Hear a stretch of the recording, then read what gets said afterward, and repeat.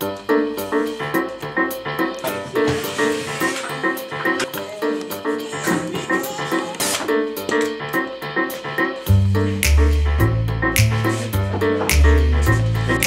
Licht an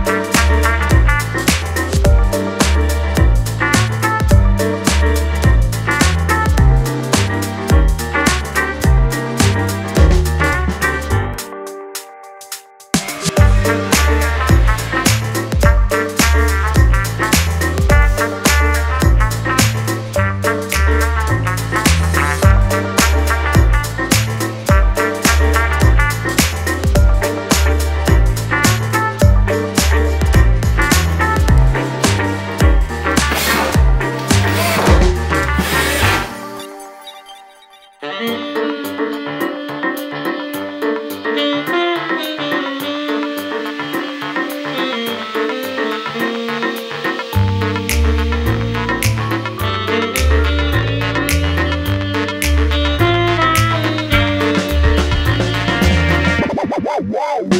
So, liebe Freunde, und jetzt seht ihr das erste Mal, was EPW, unser E-Sports-Projekt, für Ausmaße annehmen wird. Das Herzstück dieses Raumes ist endlich da, unser Caster-Desk. Ich habe Nick direkt neben mir sitzen. Äh, mein Bruder, mit dem arbeite ich ja bei EPW zusammen. Er macht viel hinter den Kulissen. Wir haben ein großes Team mittlerweile, was quasi täglich am Release arbeitet. Wir sind Monate schon dran und es rückt immer näher. Anfang Oktober wird es endlich soweit sein mit einer großen Release-Party. Da kommt der, komm mal rein, du bist der Erbauer des Tisches. Ich muss noch die Stabilisatoren einbauen. Ja, die kommen erst Dienstag. Komm mal her. Das ist der Mann, hat übrigens, wer ihn noch nicht kennt, ne, mein Vater, das ganze Ding gebaut, weil es hätte mindestens im vierstelligen Bereich irgendwas gekostet. Richtig. Dankeschön, dass du das Geld gespart hast. Dankeschön. Du zu Weihnachten trotzdem. Richtig, wie immer.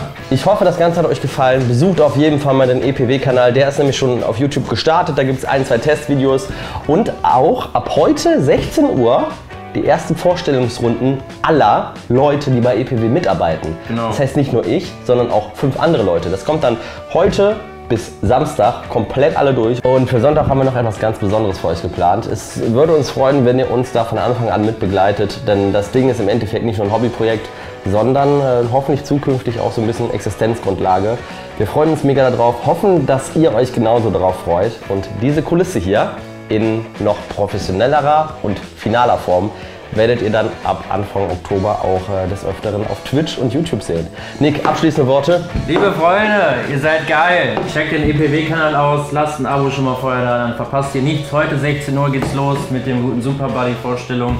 Nichts mehr verpassen, reinschalten und äh, Eistee. HDGDL. Wa- Warum gehst du denn jetzt einfach so? Ja, weil die Stabilisatoren jetzt noch da reinmachen. Ja, wir müssen weiterarbeiten. Hau da rein, tschüss!